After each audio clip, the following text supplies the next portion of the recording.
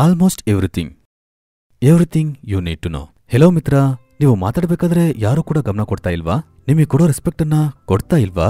ಇಲ್ಲಾಂದ್ರೆ ನೀವು ಸೀರಿಯಸ್ ಆಗಿ ಒಂದು ವಿಷಯವನ್ನ ಡಿಸ್ಕಸ್ ಮಾಡಬೇಕಾದ್ರೆ, ಹುಚ್ಚ, ಏನನ್ನ ಹೇಳ್ತಾ ಇದ್ದೇನೆ ಅಂತ ನಿಮ್ಮನ್ನ ಬೇರೆಯವರು ಟ್ರೀಟ್ ಮಾಡೋ ರೀತಿ ನಿಮಗೆ ಅನ್ನಿಸ್ತಾ ಇದೆಯಾ? ಹಾಗಿದ್ದಲ್ಲಿ ಕಂಗ್ರ್ಯಾಚುಲೇಷನ್ ಏನಕ್ಕಂದ್ರೆ ಸರಿಯಾದ ಜಾಗಕ್ಕೆ ನೀವು ಬಂದಿದ್ದೀರಾ? ಬೇರೆಯವರು ನಿಮ್ಮನ್ನ ರೆಸ್ಪೆಕ್ಟ್ ಇಲ್ಲದೆ ಟ್ರೀಟ್ ಮಾಡಿದ್ರೆ, ನೀವು ಹೇಳೋ ವಿಷಯವನ್ನ ವ್ಯಾಲ್ಯೂ ಮಾಡ್ತಾ ಇಲ್ಲ ಅಂದ್ರೆ ನಿಮ್ಗೆ ಗೊತ್ತಿದ್ದು ಗೊತ್ತಿಲ್ಲದೆ ಅದಕ್ಕೆಲ್ಲ ಕಾರಣ ನೀವೇ. ನೀವೇ ಬೇರೆಯವರು ನಿಮ್ಗೆ ರೆಸ್ಪೆಕ್ಟ್ ಕೊಡದೇ ಇರೋ ರೀತಿ ನಡ್ಕೊಂಡಿದ್ದೀರಾ? ಈ ನಿಜವನ್ನ ಕೇಳಿ ನಿಮ್ಗೆ ಕೋಪ ಬಂದ್ರೆ ನಿಮ್ಗೀಗ ಎರಡು ಆಪ್ಷನ್ ಇದೆ. ಒಂದು, ನೀವ್ ಹೇಳದ್ ತಪ್ಪು ಬೇರೆಯವರೇ ಕಾರಣ.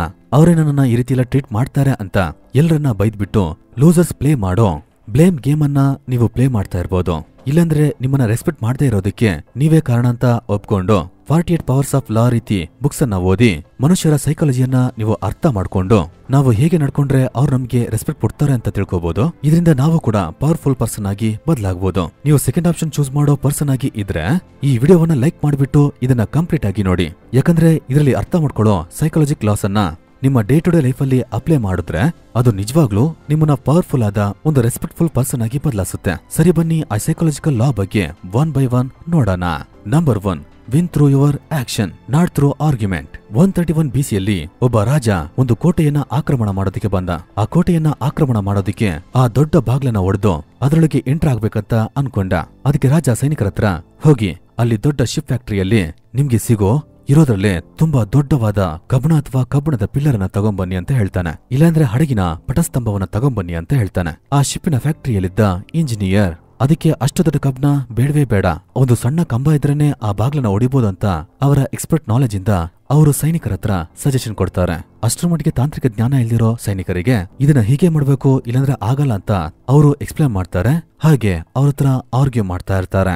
ಸೊ ಇದರಿಂದ ಅವ್ರು ಹೇಳೋದು ಲಾಜಿಕಲ್ ಆಗಿ ಕರೆಕ್ಟ್ ಆಗಿದ್ರು ಕೂಡ ರಾಜ ಹೇಳಿದನ್ನ ಹಾಗೆ ಫಾಲೋ ಮಾಡದೆ ಇರೋದ್ರಿಂದ ಈ ಸೈನಿಕರು ರಾಜನ ಹತ್ರ ಹಾಗೆ ಹೋಗಿ ಹೇಳ್ಬೇಕಾದ್ರೆ ರಾಜ ಕೊಟ್ಟಿದ್ದ ಆರ್ಡರ್ ಅನ್ನ ಆ ಇಂಜಿನಿಯರ್ ಫಾಲೋ ಮಾಡಿಲ್ಲ ಅಂತ ರಾಜನಿಗೆ ತುಂಬಾ ಕೋಪ ಬರುತ್ತೆ. ಆದ್ರಿಂದ ಇಂಜಿನಿಯರ್ ಕೊಟ್ಟಿದ್ದ ಆ ಸಣ್ಣ ಕಬ್ಬಣವನ್ನ ಯೂಸ್ ಮಾಡ್ದೇನೆ ಆ ಬಾಗ್ಲನ್ನ ಒಡೆಯೋದನ್ನ ಮರ್ತ್ಬಿಟ್ಟು ಆ ಇಂಜಿನಿಯರಿಗೆ ಶಿಕ್ಷೆಯನ್ನ ಕೊಡೋದ್ರಲ್ಲಿ ತುಂಬಾ ಕಾತುರದಿಂದ ಇರ್ತಾರೆ. ಅವರು ತುಂಬಾ ಕೋಪದಲ್ಲಿ ಇದ್ದಿದ್ರಿಂದ ಸಾಯೋ ತನಕ ನಡೀತಾನೆ ಇರಬೇಕು ಅಂತ ಆ ಇಂಜಿನಿಯರಿಗೆ ಒಂದು ಶಿಕ್ಷೆಯನ್ನ ಕೊಟ್ಟು ಅವರು ಸಾಯೋ ತನಕ ಸೋಲ್ಜರ್ಸ್ ಅನ್ನ ಫಾಲೋ ಮಾಡಕ್ಕೆ ಬಿಟ್ರು. ಈ ಇಂಜಿನಿಯರ್ ಆರ್ಗ್ಯೂ ಮಾಡೋದನ್ನ ಬಿಟ್ಕೊಂಡು ರಾಜ ಕೇಳಿದ ರೀತಿ ಇರೋದ್ರಲ್ಲೇ ತುಂಬಾ ದೊಡ್ಡ ಐನ್ ಮಸ್ಟ್ ಅನ್ನ ಕೊಟ್ಬಿಟ್ಟು ಜೊತೆಗೆ ಆ ದೊಡ್ಡ ಐನ್ ಮಾಸ್ಟ್ ಜೊತೆಗೆ ಇದನ್ನು ಕೂಡ ತಗೊಂಡ್ ಹೋಗಿ ಅಂತ ಅವರ ಎಕ್ಸ್ಪರ್ಟೀಸ್ ಅನ್ನ ಯೂಸ್ ಮಾಡ್ಕೊಂಡು ರೆಡಿ ಮಾಡಿರೋ ಆ ಸಣ್ಣ ಐನ್ ಪೋಲನ್ನ ಜೊತೆಗೆ ಕೊಟ್ಟಿದ್ರೆ ಅವರು ತಗೊಂಡೋಗಿದ್ದ ಆ ಐನಿಂದ ಕಷ್ಟಪಡ್ತಾ ಇರ್ಬೇಕಾದ್ರೆ ಇವರು ಕೊಟ್ಟ ವಸ್ತುವಿಂದ ಅವರ ಪ್ರಾಬ್ಲಮ್ಗೆ ಸೊಲ್ಯೂಷನ್ ಸಿಕ್ಬಿಟ್ರೆ ಆವಾಗ ಇವರ ರೆಸ್ಪೆಕ್ಟ್ ಮತ್ತೆ ವ್ಯಾಲ್ಯೂ ಜಾಸ್ತಿ ಆಗಿರುತ್ತೆ. ಅದನ್ ಮಾಡೋದ್ ಬಿಟ್ಕೊಂಡು ಅವರು ಆರ್ಗ್ಯೂ ಮಾಡೋದಕ್ಕೆ ಸ್ಟಾರ್ಟ್ ಮಾಡಿದ್ರಿಂದ ಅವರ ಜೀವನೇ ಈಗ ಹೋಗ್ಬಿಡ್ತು. ಸೊ ದೊಡ್ಡ ಪೋಸ್ಟಿಂಗ್ ಅಲ್ಲಿ ಇರೋ ಹತ್ರ ನಾವು ಡೀಲ್ ಮಾಡ್ಬೇಕಾದ್ರೆ ನೀವು ಹೇಳೋ ವಿಷಯ ಕರೆಕ್ಟ್ ಆಗಿದ್ರೂ ಕೂಡ ಅವ್ರ ಹತ್ರ ಆರ್ಗ್ಯೂ ಮಾಡೋದ್ ಬಿಟ್ಕೊಂಡು ರಿಸಲ್ಟ್ ಅನ್ನ ತೋರಿಸ್ಬಿಟ್ಟು ನಿಮ್ಮ ವ್ಯಾಲ್ಯೂವನ್ನ ನೀವು ಇನ್ಕ್ರೀಸ್ ಮಾಡಬಹುದು ಹಾಗೆ ರೆಸ್ಪೆಕ್ಟ್ ಅನ್ನು ಕೂಡ ಆನ್ ಮಾಡಬಹುದು ಸೊ ನೀವು ಸ್ಟೂಡೆಂಟ್ ಆಗಿ ಇದ್ರೂ ಕೂಡ, ಕೆಲಸಕ್ಕೆ ಹೋದ್ರೂ ಕೂಡ ನಿಮ್ಮ ಫೀಲ್ಡ್ ಅಲ್ಲಿ, ಅಂದ್ರೆ ನೀವು ಮಾಡೋ ಕೆಲಸದಲ್ಲಿ ರಿಸಲ್ಟ್ ಅನ್ನ ತನ್ನಿ. ಆವಾಗ ನೀವು ಆರ್ಗ್ಯೂ ಮಾಡೋದಕ್ಕೂ ನಿಮ್ಮ ಬಗ್ಗೆ ಎಕ್ಸ್ಪ್ಲೇನ್ ಮಾಡೋದಕ್ಕೆ ಅವಶ್ಯಕತೆ ಇರೋದೇ ಇಲ್ಲ. ನಿಮ್ಮ ರಿಸಲ್ಟು ನಿಮ್ ಬಗ್ಗೆ ಮಾತಾಡುತ್ತೆ. ನಿಮ್ಮ ರೆಸ್ಪೆಕ್ಟ್ ಅನ್ನ ಜಾಸ್ತಿ ಮಾಡುತ್ತೆ. Number two use absence to increase respect and honour ಇದನ್ನ ನೋಟಿಸ್ ಮಾಡಿದರಾ ಇಲ್ವಾ ಅಂತ ಗೊತ್ತಿಲ್ಲ. ದೊಡ್ಡ ದೊಡ್ಡ ಸೆಲೆಬ್ರಿಟೀಸ್ ಮತ್ತೆ ಫೇಮಸ್ ಆಗಿರೋ ಪವರ್ಫುಲ್ ಆದ ಪರ್ಸನ್ಸ್ ಅಷ್ಟರ ಮಟ್ಟಿಗೆ ಅವೈಲೇಬಲ್ ಆಗಿ ಇರೋದೇ ಇಲ್ಲ.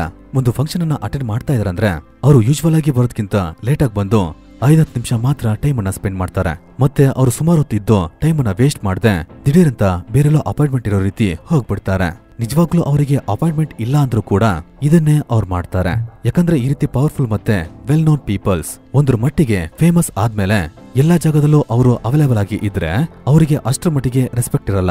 ಅವರ ವ್ಯಾಲ್ಯೂ ಕೂಡ ತುಂಬಾ ಕಮ್ಮಿ ಆದಂಗಾಗುತ್ತೆ. ಆದ್ರಿಂದನೇ ಈ ಕಾಲದಲ್ಲಿರೋ ದೊಡ್ಡ ದೊಡ್ಡ ಆಕ್ಟರ್ಸ್ ಅವರು ಸ್ಟಾರ್ಟಿಂಗ್ ಸ್ಟೇಜ್ ಅಲ್ಲಿ ತುಂಬಾ ಕಷ್ಟಪಟ್ಟು ಸುಮಾರು ಫಿಲ್ಮ್ ಅಲ್ಲಿ ಆಕ್ಟ್ ಮಾಡಿದ್ರು ಕೂಡ ಒಂದ್ರ ಮಟ್ಟಿಗೆ ತುಂಬಾ ಫೇಮಸ್ ಆದ್ಮೇಲೆ ಸಣ್ಣ ಸಣ್ಣ ಅಡ್ವರ್ಟೈಸ್ಮೆಂಟ್ ಅಲ್ಲಿ ಆಕ್ಟ್ ಮಾಡೋದನ್ನ ಅವಾಯ್ಡ್ ಮಾಡ್ತಾರೆ. ಜನರ ಮುಂದೆ ಯಾವಾಗ್ಲೂ ಅವೈಲೇಬಲ್ ಆಗಿದ್ದು ಅವರ ವ್ಯಾಲ್ಯೂವನ್ನ ಕಮ್ಮಿ ಮಾಡ್ಕೊಳ್ಳೋದೇ ಇಲ್ಲ.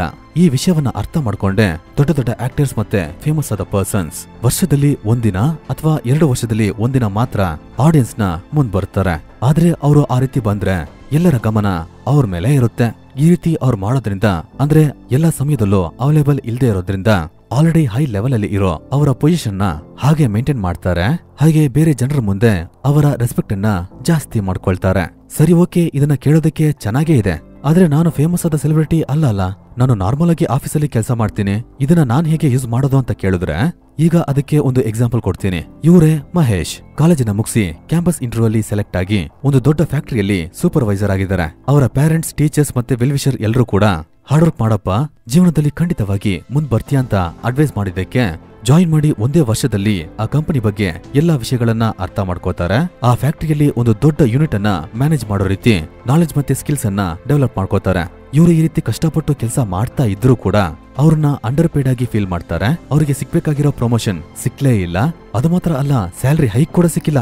ಇದರಿಂದ ಅವರ ಮೆಂಟರ್ ಅನ್ನ ಇವರು ವಿಸಿಟ್ ಮಾಡಿ ಮಾತಾಡಬೇಕಾದ್ರೆ ನಂಗೆ ಕೆಲಸದಲ್ಲಿ ಸಿಗ್ಬೇಕಾಗಿದ್ದ ರೆಕಗ್ನಿಷನ್ ಸಿಗ್ಲೇ ಇಲ್ಲ ಅಂತ ಅವ್ರ ಹತ್ರ ಶೇರ್ ಮಾಡ್ಬೇಕಾದ್ರೆ ಅವರು ಸಿಂಪಲ್ ಆಗಿ ಒಂದು ವಿಷಯವನ್ನ ಮಾಡಕ್ ಹೇಳಿದ್ರು. ನೀನು ಆ ಕಂಪನಿಯಲ್ಲಿ ಒಂದು ದೊಡ್ಡ ಯೂನಿಟ್ ಅನ್ನ ಮ್ಯಾನೇಜ್ ಮಾಡ್ತಾ ಇದ್ದೀನಿ ಅಂತ ಹೇಳ್ತಿದ್ಯಲ್ಲ, ನೀನು ಅಲ್ಲಿ ಇಲ್ಲ ಅಂದ್ರೆ ಬೇರೆಯವರಿಗೆ ಕೆಲಸ ಮಾಡೋದಕ್ಕೆ ತುಂಬಾ ಕಷ್ಟ ಆಗುತ್ತೆ ಅಂತ ನೀನು ಕಾನ್ಫಿಡೆಂಟ್ ಆಗಿ ಇದೆಯಾ ತಾನೆ? ಒಂದು ಎರಡ್ ಮೂರ್ ದಿನ ರಜೆ ತಗೊಂಡು ರೆಸ್ಟ್ ಮಾಡು ಅಂತ ಹೇಳ್ತಾರೆ. ನೀನು ಅಲ್ಲಿ ಇಲ್ಲ ಅಂದ್ರೆ ಆಫೀಸಲ್ಲಿ ಏನೆಲ್ಲ ನಡೆಯುತ್ತೆ ಅಂತ ನೋಡು ಅಂತ ಹೇಳ್ತಾರೆ. ಮಹೇಶ್ ಈ ರೀತಿ ಎರಡ್ ಮೂರ್ ದಿನ ರಜೆ ತಗೊಂಡಿದ್ರಿಂದ ಅವರ ಆಫೀಸಲ್ಲಿ ಎಂದಿನಂತೆ ನಡೆಯೋ ಕೆಲಸ ನಡೀತಾನೆ ಇಲ್ಲ. ಆವಾಗ್ಲೇ ಮಹೇಶ್ ಆಫೀಸಲ್ಲಿ ಇಲ್ಲ ಅಂದ್ರೆ ಏನೆಲ್ಲ ಸಮಸ್ಯೆ ಆಗುತ್ತೆ ಅಂತ ಆಫೀಸಲ್ಲಿದ್ದ ಹೈಯರ್ ಮ್ಯಾನೇಜ್ಮೆಂಟ್ಗೆ ಗೊತ್ತಾಗುತ್ತೆ. ಮಹೇಶ್ ಲೀವ್ ತಗೊಂಡು ಮತ್ತೆ ವರ್ಕ್ ಅನ್ನ ಸ್ಟಾರ್ಟ್ ಮಾಡ್ಬೇಕಾದ್ರೆ ಅವರಿಗೆ ಬೇಕಾದ ಪ್ರಮೋಷನ್ ಮತ್ತೆ ಹೈಕ್ ಕೂಡ ಸಿಕ್ತು. ಸೊ ನೀವು ಶ್ರಮ ಪಡ್ತಾ ಇದ್ದೀರಾ ಅಂತ ಮುಖ್ಯ ಅಲ್ಲ.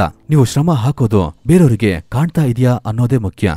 ಅದು ಮಾತ್ರ ಅಲ್ಲ, ನೀವು ಇಲ್ದೇ ಇದ್ದಾಗ ನಿಮ್ಮ ವ್ಯಾಲ್ಯೂವನ್ನ ಬೇರೆಯವರು ಫೀಲ್ ಮಾಡಬೇಕು. ಆ ರೀತಿ ಒಂದು ಸ್ಥಾನದಲ್ಲಿ ನಿಮ್ಮನ್ನ ನೀವು ಇಟ್ಕೋಬೇಕು. ಆವಾಗಲೇ ನಿಮ್ಮ ವ್ಯಾಲ್ಯೂ ಕೂಡ ಜಾಸ್ತಿ ಆಗುತ್ತೆ, ಬೇರೆಯವ್ರು ಕೊಡೋ ರೆಸ್ಪೆಕ್ಟ್ ಕೂಡ ಇನ್ಕ್ರೀಸ್ ಆಗುತ್ತೆ. Number three make your accomplishment seem effortless Harry Houdini ಅಂತ ಅಮೆರಿಕದಲ್ಲಿ ಒಂದು ಫೇಮಸ್ ಆದ ಜಾದೂಗಾರ ಇದ್ದಾನೆ. ಅವರು ಫೇಮಸ್ ಆಗಿದ್ದಕ್ಕೆ ಮುಖ್ಯವಾದ ಒಂದು ಕಾರಣ ಏನಂದ್ರೆ, ಅವ್ರು ಮಾಡೋ ದೊಡ್ಡ ದೊಡ್ಡ ಸ್ಟಂಟ್ ಮ್ಯಾಜಿಕ್ ಈ ರೀತಿ ನೋಡೋದಕ್ಕೆ ತುಂಬಾ ಕಷ್ಟಕರವಾದ ವಿಷಯವನ್ನ ಅವರು ತುಂಬಾ ಸಿಂಪಲ್ ಆಗಿ ಎಫರ್ಟ್ಲೆಸ್ ಆಗಿ ಮಾಡೋ ರೀತಿ ಅನ್ಸುತ್ತೆ. ಅವರು ಮಾಡೋದನ್ನ ನೋಡಿದ್ರೆ ಇದನ್ನೆಲ್ಲ ಸಣ್ಣ ಮಗು ಕೂಡ ಮಾಡತ್ತೆ ಅಂತ ಒಂದು ರೀತಿಯ ಫೇಸ್ ಅನ್ನ ಇಟ್ಕೊಂಡು ಅವರು ಮಾಡ್ತಾರೆ.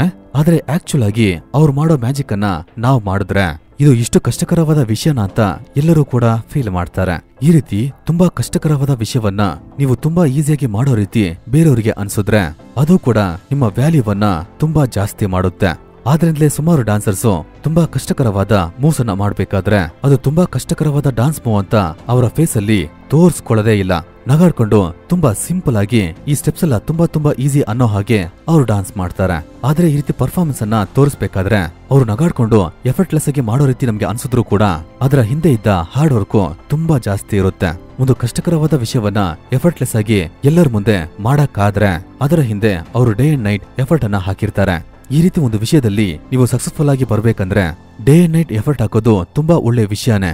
ಆದ್ರೆ ನೀವು ತುಂಬಾ ಕಷ್ಟಪಟ್ಟು ಈ ಒಳ್ಳೆ ಪರ್ಫಾರ್ಮೆನ್ಸ್ ಅನ್ನ ನೀವು ಎಲ್ಲರ ಮುಂದೆ ಮಾಡ್ತಾ ಇದ್ದೀರಿ ಅಂತ ನೋಡ್ತಾ ಇರೋರಿಗೆ ಗೊತ್ತಾದ್ರೆ ಅದು ಅಷ್ಟರ ಮಟ್ಟಿಗೆ ಇಂಪ್ರೆಸಿವ್ ಆಗಿ ಇರಲ್ಲ ಅಂತ ಹೇಳ್ತಾರೆ.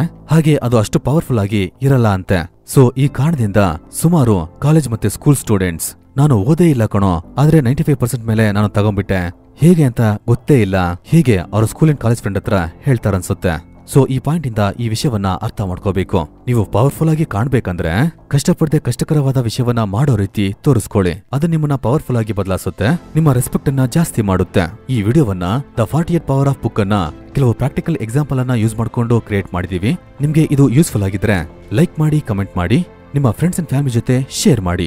ಚಾನಲ್ನ ಅದರ ಸೈಕಾಲಜಿ ರಿಲೇಟೆಡ್ ವಿಡಿಯೋವನ್ನ ನೀವಿಲ್ಲಿ ಕ್ಲಿಕ್ ಮಾಡಿ ನೋಡ್ಕೋಬಹುದು ನೀವಿನ್ನು ಆಲ್ಮೋಸ್ಟ್ ಎವ್ರಿಥಿಂಗ್ ಆಪ್ ಅನ್ನ ಡೌನ್ಲೋಡ್ ಮಾಡಿಲ್ಲ ಅಂದ್ರೆ ನಮ್ಮನ್ನ ಇನ್ಸ್ಟಾಗ್ರಾಮ್ ಮತ್ತೆ ಟೆಲಿಗ್ರಾಮ್ ಅಲ್ಲಿ ಫಾಲೋ ಮಾಡಿಲ್ಲ ಅಂದ್ರೂ ಡಿಸ್ಕ್ರಿಪ್ಷನ್ ಅಲ್ಲಿ ಲಿಂಕ್ ಕೊಟ್ಟಿದ್ದೀನಿ. ಆ ಲಿಂಕ್ ಅನ್ನ ಯೂಸ್ ಮಾಡ್ಕೊಂಡು ನೀವು ನಮ್ಮನ್ನ ಫಾಲೋ ಮಾಡ್ಕೋಬಹುದು ಕೊನೆಯದಾಗಿ ಥ್ಯಾಂಕ್ ಯು ಫಾರ್ ವಾಚಿಂಗ್